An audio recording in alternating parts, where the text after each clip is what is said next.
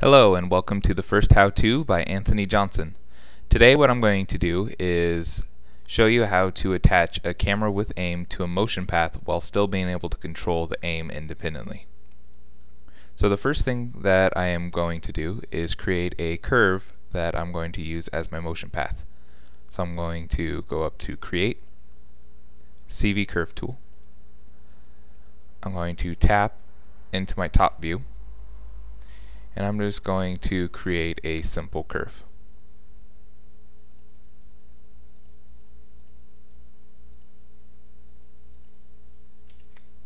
Hit enter to finish that and I'm just going to tap back into my perspective.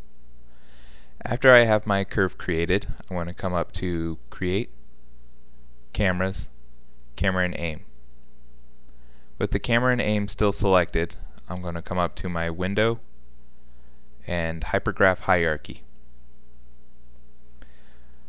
I'm going to pan over until I see my camera 1 group, my camera 1, and my camera 1 aim. If you uh, do not see your camera 1 aim, what you need to do is come up to options, display, and click on hidden nodes. I'm going to click anywhere in my work area to deselect the camera 1 and the camera 1 aim. Then I'm going to reselect the camera 1 aim and just middle mouse drag that off to the side somewhere. After that, I can close my window. Now I need to come up to Window, Hypergraph Connections. In here, you should see a few nodes. The one that we need to move is the camera 1 node, and I'm just going to click and drag that above. The reason I'm doing that is so that I can see the constraint rotates a little bit easier. I need to select those and delete them. Grabbing my camera node in my perspective window and shift selecting my curve, I can come up to my animation menu set, come over to animate, motion path, attach to motion path. You'll notice now that my camera is attached to the motion path but it no longer is constrained to the aim. In order to fix this, what I need to do is open up my outliner select my camera 1 group, shift select my camera 1 aim, minimize this,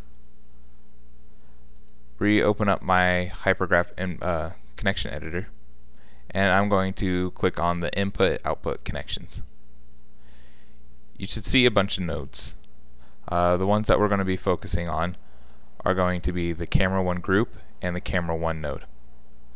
What I'm going to do is deselect, uh, click anywhere in the work area, and I'm going to middle mouse drag my camera 1 group onto my camera 1 node and click other. Inside the output sections I'm going to scroll down until I find constrain rotate and I'm going to expand that and then under inputs I'm going to scroll down until I get to rotate and I'm going to expand that. You'll notice that there's already something attached to the rotate so in order to uh, make it so that we can connect our constraints to that rotate, what I need to do is select my camera, come over to the rotate X, Y, and Z, select those, hold right click, and go break connections. Now you'll notice that the connections uh, to the graph have been broken. Opening back up our connection editor, you'll notice that the rotate X, Y, and Z can now be uh, linked together.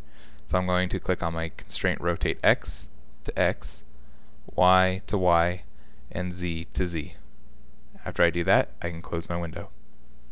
And now my camera is attached to a motion path, but the aim is still independent.